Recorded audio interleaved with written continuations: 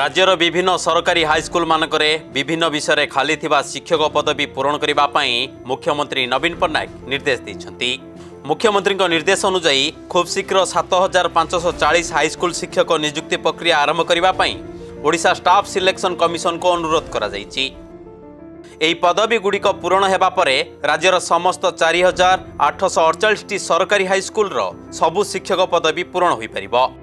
TGT Sanskrit Hindi Urdu Telugu ଓ ଶାରୀରିକ ଶିକ୍ଷକ ପଦବୀ ପୂରଣ ନିମନ୍ତେ ଚୟନ ପ୍ରକ୍ରିୟା ଆରମ୍ଭ କରାଯିବ। ଦୁଇହଜାର ଏକୋଇଶ ବାଇଶ ବର୍ଷରେ କରାଯାଇଥିବା ଦୁଇଟି ଚୟନ ପ୍ରକ୍ରିୟାରେ ତେର ହଜାରରୁ ଉର୍ଦ୍ଧ୍ୱ ଶିକ୍ଷକ ପଦବୀ ପୂରଣ କରାଯାଇ ବିଭିନ୍ନ ସରକାରୀ ବିଦ୍ୟାଳୟମାନଙ୍କରେ ନିଯୁକ୍ତି କରାଯାଇଥିଲା। ରାଜ୍ୟ ସରକାରଙ୍କ ଫାଇଭ୍ ଟି ଉପକ୍ରମରେ ରାଜ୍ୟର ବିଭିନ୍ନ କାର୍ଯ୍ୟକ୍ରମରେ ରୂପାନ୍ତର ଆଣିବା ପ୍ରକ୍ରିୟା ଜାରି ରହିଥିବା ବେଳେ ସ୍କୁଲ ରୂପାନ୍ତର କାର୍ଯ୍ୟକ୍ରମକୁ ଗୁରୁତ୍ୱ ଦିଆଯାଇ ପିଲାମାନଙ୍କ ପାଇଁ ଆଧୁନିକ ଶିକ୍ଷା ବ୍ୟବସ୍ଥା କରାଯାଇଛି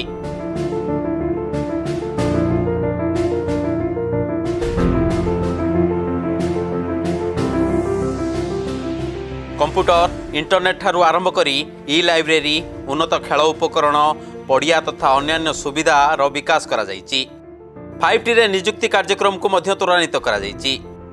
ବିଭିନ୍ନ ବିଭାଗରେ ଥିବା ଖାଲି ପଦବୀଗୁଡ଼ିକୁ ସମ୍ପୂର୍ଣ୍ଣ ସ୍ୱଚ୍ଛତାର ସହିତ କ୍ଷିପ୍ର ଗତିରେ ପୂରଣ କରାଯାଉଛି। ଗତ କିଛି ବର୍ଷ ମଧ୍ୟରେ ବିଭିନ୍ନ ବିଭାଗର ହଜାର ହଜାର ପଦବୀ ପୂରଣ କରାଯାଇଥିବା ବେଳେ ଏହି ନିଯୁକ୍ତି ପ୍ରକ୍ରିୟା ଆଗକୁ ମଧ୍ୟ ଜାରି ରହିବ। Bureau report news Adda Odisha.